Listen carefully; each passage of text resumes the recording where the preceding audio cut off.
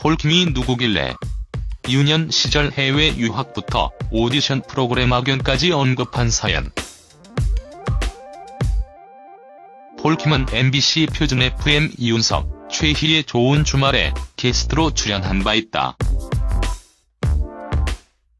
폴킴은 유년 시절을 해외에서 보냈음을 알리며 과거 단기 어학 연수가 유행이던 시절 부모님의 권유로 뉴질랜드로 떠났고 예상보다 더 머물렀다.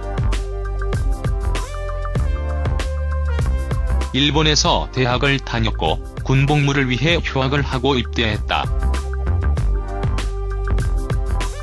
외국에서 생활하다 군대 생활을 해 적응이 어려워 일기를 썼다. 신개념이란 별명으로 불렸다고 말했다.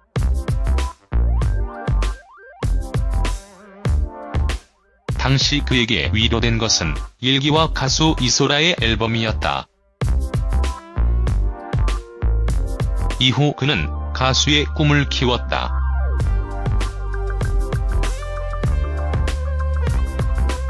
그는 웬만한 이름이 알려진 오디션 프로그램은 대부분 출연했다.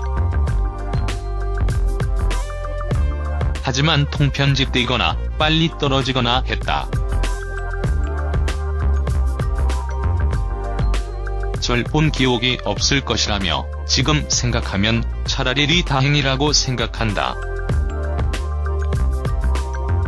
한편 폴 김은진은 2014년 첫 싱글 커피 한 잔 할래로 데뷔했다.